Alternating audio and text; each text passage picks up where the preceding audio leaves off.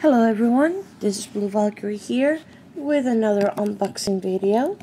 Um, as you can see I'm already starting with a cutter. If I could drive it across perfectly, that's another thing. I really don't know which one it is. You know when you order so many that you forget what's coming to you. So, ah, that's basically it. Oh my god! Yes! He came way before I thought he would. So, ladies and gentlemen, I present to you Mr. Pennywise. The box, it seems to be in near perfect condition, save for that little detail over there, which you can't see from a plane.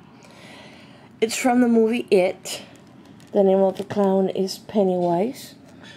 And Pennywise actually looks pretty scary, as is usual. I have a fear of clowns, and you know the clown, the creepy clown, ah, clown craze that's going out in the United States.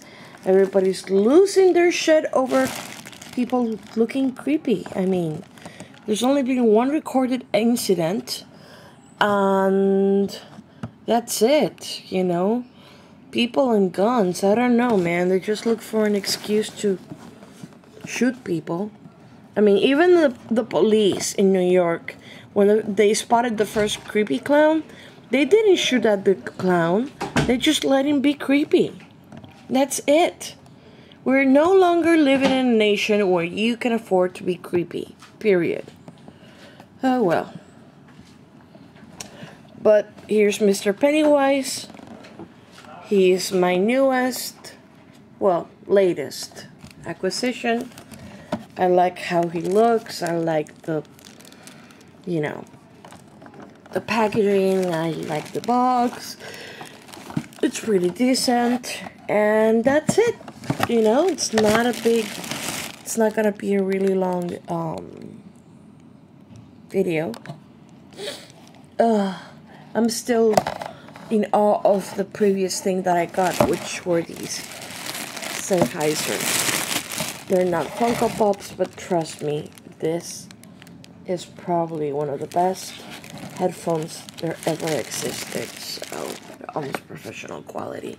And they came alongside Mr. Pennywise.